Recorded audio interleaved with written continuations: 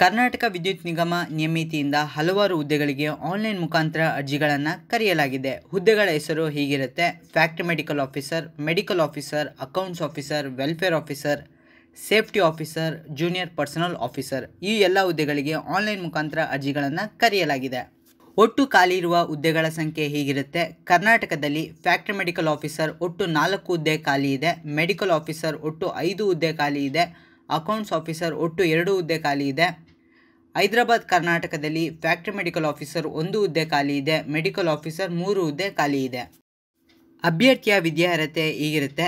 Factory medical officer ಹುದ್ದೆಗೆ ಅರ್ಜಿಯನ್ನು ಸಲ್ಲಿಸಬೇಕಾದ್ರೆ ಎಂ ಬಿ ಬಿ ಎಸ್ ಆಗಿರಬೇಕು. ಜೊತೆಗೆ ರಾಜ್ಯ ಸರ್ಕಾರದಿಂದ ಅಂಗೀಕೃತಗೊಂಡಿರುವ ಕೈಗಾರಿಕಾ ಸ್ವಾಸ್ಥ್ಯದಲ್ಲಿ ಕನಿಷ್ಠ ಮೂರು ತಿಂಗಳ ತರಬೇತಿಯನ್ನು ಹೊಂದಿರಬೇಕು.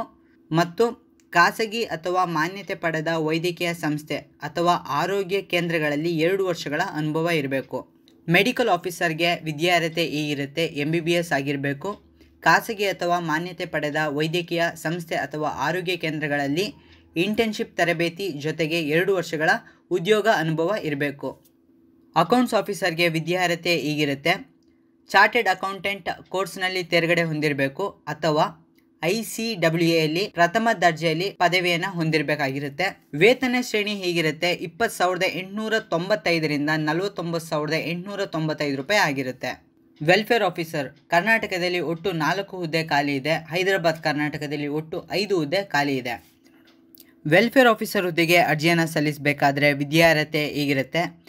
ಬ್ಯಾಚುಲರ್ ಡಿಗ್ರಿಯಲ್ಲಿ ಪದವಿ ಹೊಂದಿರಬೇಕು. ಮಾಸ್ಟರ್ ಡಿಗ್ರಿ ಇನ್ ಸೋಷಲ್ ವರ್ಕಲ್ಲಿ ಸ್ನಾತಕೋತ್ತರ ಪದವಿಯನ್ನು ಹೊಂದಿರಬೇಕು.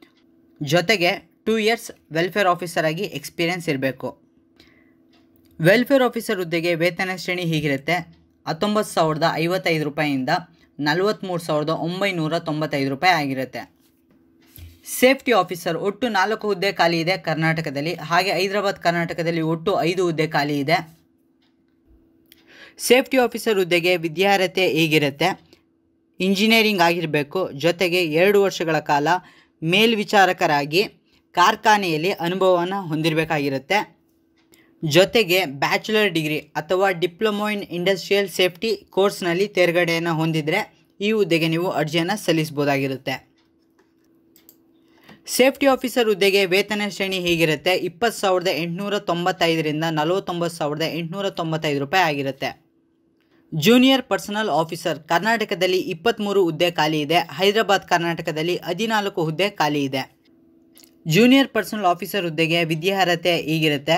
ಬ್ಯಾಚುಲರ್ ಡಿಗ್ರಿ ಆಗಿರಬೇಕು. ಜೊತೆಗೆ P G diploma in personnel ಮ್ಯಾನೇಜ್ಮೆಂಟಲ್ಲಿ ತೇರ್ಗಡೆಯನ್ನು ಹೊಂದಿದರೆ ಈ ಹುದ್ದೆಗೆ ನೀವು ಅರ್ಜಿಯನ್ನು ಸಲ್ಲಿಸ್ಬೋದಾಗಿರುತ್ತೆ ಅಥವಾ P G diploma in social work diploma in labour laws ಅಥವಾ ಎಂ ಎಸ್ ಡಬ್ಲ್ಯೂ ಅಥವಾ ಎಂ ಬಿ ಎ ಈ ಯಾವುದಾದರೂ ಒಂದು ಕೋರ್ಸ್ನಲ್ಲಿ ನೀವು ತೇರ್ಗಡೆಯನ್ನು ಹೊಂದಿದರೆ ಈ ಹುದ್ದೆಗೆ ನೀವು ಅರ್ಜಿಯನ್ನು ಸಲ್ಲಿಸ್ಬೋದಾಗಿರುತ್ತೆ ಜೂನಿಯರ್ ಪರ್ಸನಲ್ ಆಫೀಸರ್ ಹುದ್ದೆಗೆ ವೇತನ ಶ್ರೇಣಿ ಹೀಗಿರುತ್ತೆ. ಹದಿನಾಲ್ಕು ಸಾವಿರದ ಮುನ್ನೂರ ತೊಂಬತ್ತೈದರಿಂದ ನಲವತ್ತು ಸಾವಿರದ ಏಳ್ನೂರ ಎಂಬತ್ತೈದು ರೂಪಾಯಿ ಆಗಿರುತ್ತೆ.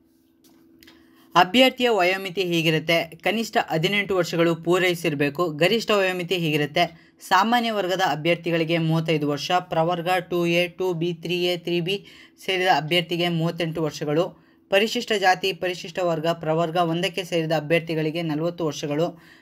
ಮಾಜಿ ಸೈನಿಕ ಅಭ್ಯರ್ಥಿಗಳಿಗೆ ನಲವತ್ತೈದು ವರ್ಷಗಳು ಗರಿಷ್ಠ ವಯೋಮಿತಿ ಆಗಿರುತ್ತೆ. ಅರ್ಜಿ ಶುಲ್ಕ ಹೇಗಿರುತ್ತೆ? ಸಾಮಾನ್ಯ ವರ್ಗ ಪ್ರವರ್ಗ two A, two B, three A, three B ಸೇರಿದ ಅಭ್ಯರ್ಥಿಗೆ ಐನೂರು ರೂಪಾಯಿ ಅರ್ಜಿ ಶುಲ್ಕ ಆಗಿರುತ್ತೆ. ಪರಿಶಿಷ್ಟ ಜಾತಿ, ಪರಿಶಿಷ್ಟ ವರ್ಗ ಪ್ರವರ್ಗ ಒಂದಕ್ಕೆ ಸೇರಿದ ಅಭ್ಯರ್ಥಿಗೆ ಇನ್ನೂರೈವತ್ತು ರೂಪಾಯಿ ಅರ್ಜಿ ಶುಲ್ಕ ಆಗಿರುತ್ತೆ. ಅರ್ಜಿಯನ್ನು ಸಲ್ಲಿಸಲು ಕೊನೆ ದಿನಾಂಕ ಇಪ್ಪತ್ತೆರಡು ಏಪ್ರಿಲ್ ಎರಡು ಸಾವಿರದ ಹತ್ತೊಂಬತ್ತು. ಶುಲ್ಕ ಪಾವತಿ ಮಾಡಲು ಕೊನೆ ದಿನಾಂಕ ಇಪ್ಪತ್ತಾರು ಏಪ್ರಿಲ್ ಎರಡು ಸಾವಿರದ ಹತ್ತೊಂಬತ್ತು ಆಗಿರುತ್ತೆ.